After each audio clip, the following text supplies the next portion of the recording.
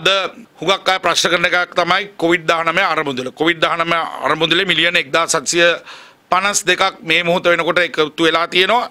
ඒ මිලියන 1752කින් රජය කෝටි 16ක් වියදම් කරලා තියෙනවා. දැනට එක පැත්තෙන් ගත්තාම යටිතල පහසුකම් සංවර්ධනයට ඊළඟට PCR පරීක්ෂණ කරන්න ඊළඟට දැන් මේ ට්‍රන්ස්පෝට් එහෙම නැත්නම් ප්‍රවාහන පහසුකම් වලට ඊළඟට කොරන්ටයින් ෆැසිලිටිස් එහෙම නැත්නම් මේ නිරෝධායන කටයුතු වලට එක්කලා කෝටි 16ක මුදලක් රජය වියදම් කරලා තියෙනවා මිලියන 160ක විතර මුදලක් වියදම් කරලා තියෙනවා. ඊළඟට ඉදිරියේදී තියෙනවා මේ වැක්සින් එකට. එහෙම නැත්නම් එන්නත් ක්‍රියාවලියටත් රජය කෝටි 4 කෝටියක් වියදම් කරලා කරන්න බලාපොරොත්තු වෙනවා. ලක්ෂ මිලියන 400ක විතර ප්‍රමාණයක්. ඒ වගේම තමයි ඊළඟට දැන් දැන් ඔය ඇම්බියුලන්ස් පිළිබඳව කතාවක් ඇතිවෙලා තියෙනවා.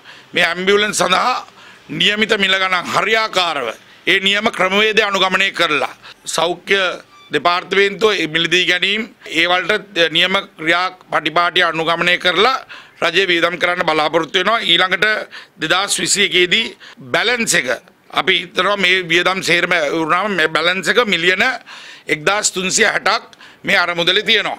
මේ අරමුදල සම්පූර්ණයෙන්ම ජනාධිපති ලේකම් කාර්යාලයේ විගණන අංශය විගණනය කරනවා මේ පිළිබඳව පාර්ලිමේන්තුවට මේ සියලුම කරුණු කාරණා ඉදිරිපත් කරනවා මේ සම්බන්ධයෙන් රජයේ පැත්තෙන් විනිවිද භාවයක් ඇති මේ රටේ ජනතාවගේ මුදල් කිසිම ආකාරයකින් අනවශ්‍ය දේවල් වලට වියදම් කරන්නේ නැතුව නාස්ති කරන්නේ නැතුව මේ මුදල වියදම් කරන්න රජයේ බලාපොරොත්තු වෙනවා රජය ඒ සම්බන්ධයෙන් ඒ වගකීම රජය ගන්නවා. ඉතින් මේ වෙලාවේදී ඇත්තටම අපි සියලු දෙනාක්ම ඉන්නේ ඊටමත් අමාරු තත්ත්වයක කියලා අපි දන්නවා.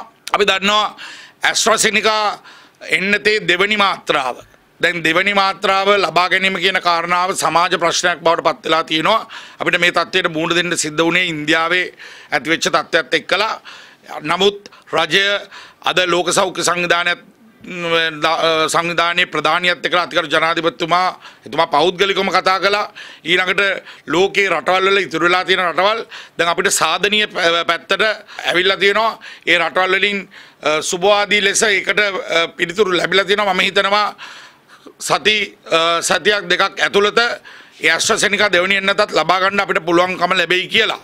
හැබැයි අද වෙනකොට මම මන්ත්‍රීතුමත් පැහැදිලි කරයි ලක්ෂ 15කට විතර ප්‍රමාණයකට දැන් මේ ඉන්නත් ලබා දීලා තියෙනවා. ඊළඟට ස්පුට්නික් සහ සයිනෝෆාම් එන්නත මම හිතන්නේ චීනය සහ රුසියාව මේ එන්නත් දෙක රජයට ලබා දීමට අද වෙනකොට ලක්ෂ එකසිය දෙහක විතර ප්‍රමාණයක් ස්පුට්නික් එන්නතින් ගෙන්නා ගැනීමට සයිනෝෆාම් එන්නත ගෙන්නා ගැනීමට රජය විසින් කටයුතු කරන එක නිසා ඒ එන්නත් කරන ක්‍රියාවලිය සම්පූර්ණයෙන්ම සිද්ධ වෙනවා. ඊළඟට රජයේ පැත්තෙන් අපි දන්නවා මේ ඉතාමත් අවධානාත්මක තත්ත්වයක අපි ඉන්නේ. ඉතින් මේ තත්ත්වය තුළ මේ සම්පූර්ණ ක්‍රියාවලියට සියලු දෙනාගේම සහයෝගය වුණා. මේ වෙලාවේදී විශේෂම විපක්ෂයේ සහයෝගයත් වුණා. විපක්ෂයේ සහයෝගය අපි සාධාරණ විවේචන භාරගන්නවා හැබැයි විපක්ෂයේ සහයෝගය මීටත් වැඩිය අපිට අවශ්‍ය කරනවා.